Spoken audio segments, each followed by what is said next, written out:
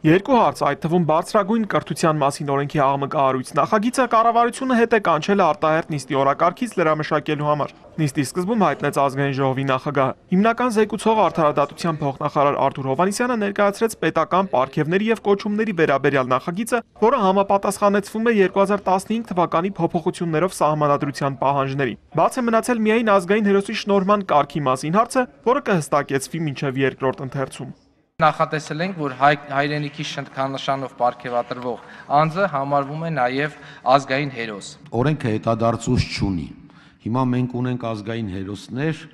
որոնց հիմա ինչ պետք է էլի հայրենիքի շքանշան ապարգևենք։ Ես կարծում եմ հայրենիքի շքանշանը, ասենք, որևէ առնչություն չունի այն երևույթի հետ, որ մենք ընդունել ենք որպես ազգային հերոս կոչում եւ այլն։ Նկատի ունեմ, եկեք մի բան ֆիքսենք, եթե սահմանադրության մեջ մեկ բառ չի ներառված, դա սահմանադրության խախտում չէ։ Կարելի է տալ կոչումների մեջ այս հարցը դնել կոչումների մեջ,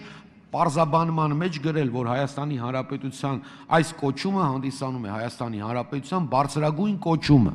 Գործընկերների հնչեցրած առաջարկներին միացավ նաև Ծառուկյան խմբակցության падգամավոր Վարդան Բոստանջյանը։ Բոլոր մարդկանց, որ ուզում են թոշակի ուղարկել, պատվավոր կոչ եմ տալի։ Ես մտածում եմ, որ ազգային հերոսը այդպեսին չի կարող լինել։ Արեք ազգային հերոսին, նաև ասեք ազգային հերոսը, ուրեմն զուգայր շահկապվում է հայրենիքի շկանշանով։ Հակառակ պարագայում ուրեմն դուրս կգա, որ մենք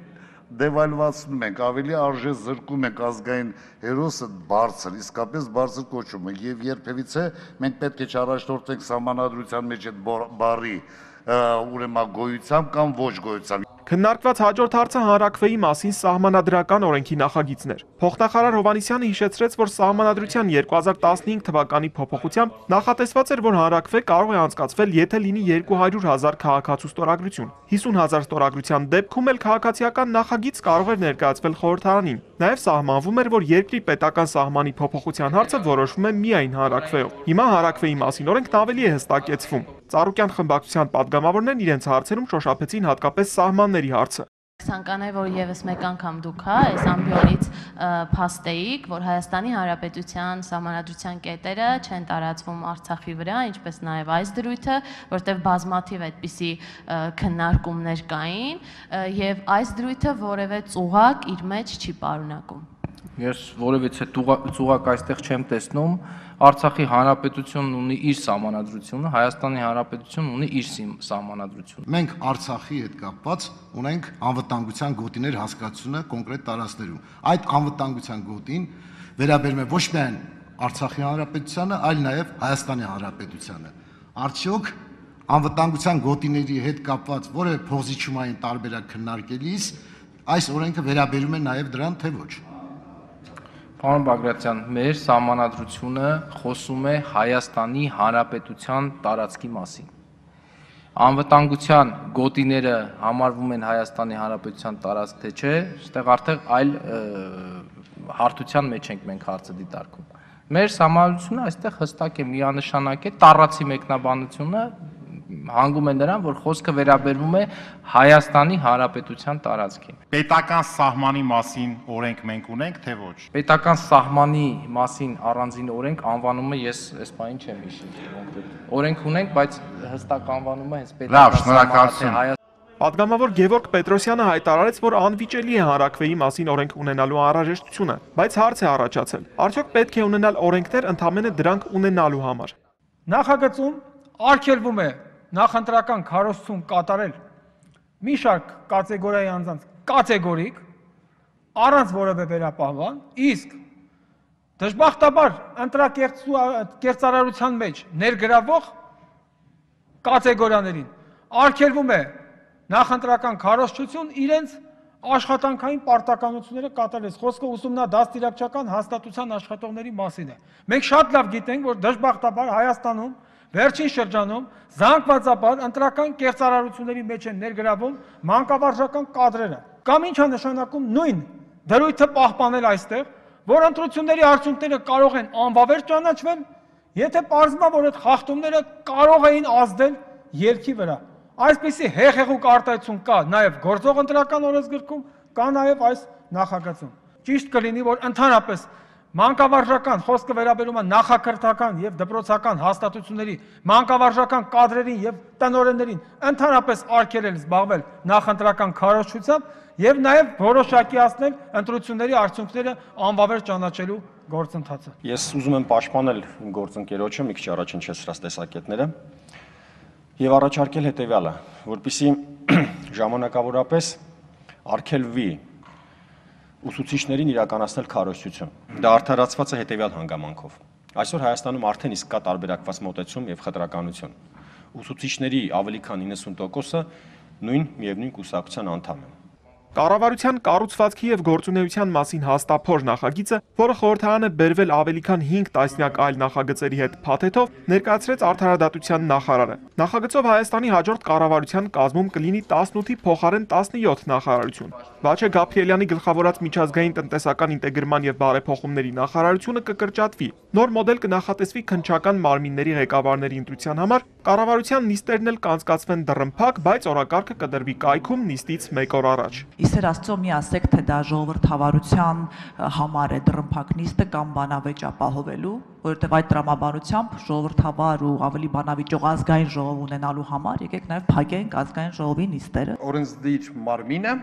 երբևէ չի գործում կոլեկտիվ պատասխանատվության սկզբունքով։ Ի տարբերություն դրա արմատական սկզբունքը, որը գործադիր իշխանության հիմքում է, դա կոլեկտիվ պատասխանատվության սկզբունքն է։ Ես նայում եմ փոխ վարչապետի, փոխվարչապետի եւ նախարարների լիազորությունները եւ հստակ արձանագրված է նախարարի լիազորությունը, որը կարծում եմ քայլ առաջ է ընդունենք, որ ինքը ինքնուրույն մշակում եւ իրականացնում է տվյալ ոլորտի քաղաքականությունը, բայց փոխվարչապետների համար հետեւյալն է գրած, որ ինքը իրականացնում է գործողություններ վարչապետի հանձնարարության, որը տանում է իր յենթակայության ներքո կամ համակարգման ներքո ավելի ճիշտ, ուրեմն ներդաշնակ եւ համաձայնեցված գործնեությանը։ Հարց. Ընդունենք նախարարը, եթե ինքնուրույն իրականացնում է, ինքը չի գնում համակարգման, ոչ բանով է դա սահմանված ակտով։ Նախարարը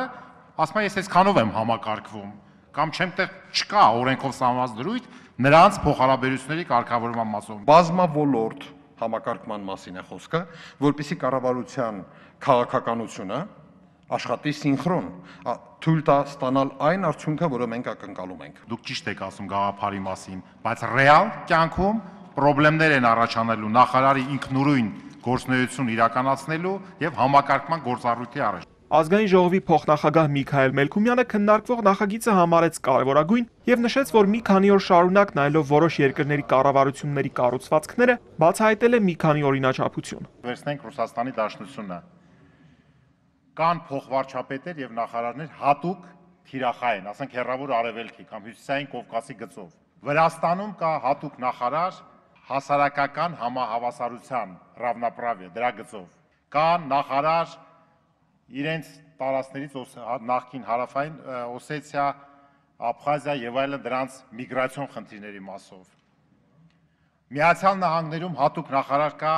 վետերանների գործերով։ Եվ ես կարծում եմ, որ հենց հիմա ճիշտ ժամանակն է, որ մենք Արցախի հարցով ունեն ունենանք ինտեգրացման նախարարություն։ Անունը կարևոր չէ, թե մենք ոնց կկոչենք, կլինեն հատուկ ծրագրերի իրագործման եւ այլ եւ այլն, տարբեր մեր միջազգային խնդիրներում ավելի մեղմ եւ նրբանկատ լինելու համար, բայց ուրեմն տարածքների, ուրեմն 1/3-ից ավելի կազմող տարածքների եւ վերաբնակեցումը եւ զարգացումը դա լինելու է մեր ստրատեգիական խնդիրներից մեկը։ Հիմա ինչ վերաբերվում է այդ բանը բարեփոխումների եւ միջազգային տնտեսական ինտեգրացման նախարարությունը։ Հիմա այդ բարեփոխումների կարիքը չունենք, կամ միջազգային տնտեսական ինտեգրացիայի կարիքը մենք չունենք, որ հիմա ասում ենք, այն ժամանակ էլ վերաբաշխեինք։ Ի՞նչն է խնդիրը։ Այսինքն ազատ նախարարություն չկար, որ ուրեմն մեկի վրա դնենք, ոնց որ նախկինում տարածքային կառավարումներ եղել, ասենք թե։ Այսինքն այս բաները ակնհայտ ցույց է տալի, որ եթե նախարարությունն ունի երկու տարվա կյանք կամ տարի ու կեսվա կյանք, սենց պետական կառավարման համակարգ չեն ձևավորում։ Ես իհարկե կողմնակից եմ, ես ավելի ոլորտային սկզբունքային բաներ եմ ասելու, այնտեղ որտեղ որ կա ճյուղային սկզբունք, ոնց որ ավիացիայի մասին ես ասեցի, անպայման դա պետք է լինի մի նախարարության կազմում։ Եթե ցանկից դուրս ամնացել այդ տիպի մի որևէ առընթեր մարմին, ես կողմնակից եմ, որ դրանք ներառվեն որևէ ճյուղային նախարարության կազմում։ Ահարոն Հայրապետյան, Ալեքսանդր Կիրոյան, Էպիկենտրոն,